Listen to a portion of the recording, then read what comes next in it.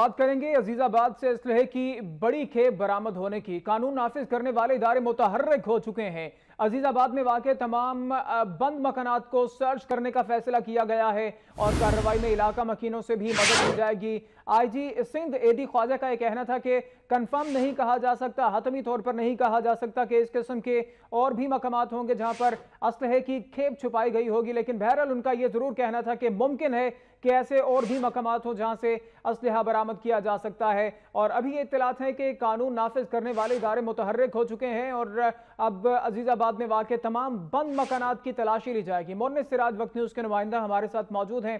مونس آجی سندھ بھی کہہ چکے ہیں کہ ممکن ہے کہ مزید ایسے مقامات ہوں جہاں پر اسلحہ چھپایا گیا ہے۔ مختلف سیاسی ونگز کی جانب سے کس طرح سے اس کو سرچ کیا جائے گا؟ جی دیکھیں، بالکل اسامہ، آپ کو بتاؤں کہ کراچی کے علاقے عزیز آباد میں، جہاں سے تین روز قبل ایک بند مکان سے اسلحے کی بڑی کھیپ ملی تھی اور اس حوالے سے تحقیقات کا جو ہے وہ دائرہ وسیع کرنے کا فیصلہ کیا گیا تھا اور جی آئی ٹی کے بھی جو ہے وہ تمام تر معاملات دیکھے جا رہے تھے اور گزشتہ شب جو ہے وہ آئی جی سندھ کی جانب سے بھی جو ہے وہ بتایا گیا کہ ممکنہ طور پر ان کی جانب سے اس بات کا اظہار جو ہے وہ کیا گیا کہ شہر میں اور بھی ذخائر اس طرح کے موجود ہو سکتے ہیں۔ تو اس تمام تر صورتحال پہ آپ کو بتاؤں کہ قانون نافذ کرنے والے ادارے جو ہیں وہ متحرک ہو گئے اور عزیز آباد اور اس سے ملحقہ علاقے میں ذرائع کا یہ بتانا ہے کہ تمام تر بند مکانات کو سرچ کرنے کا فیصلہ کیا گیا ہے۔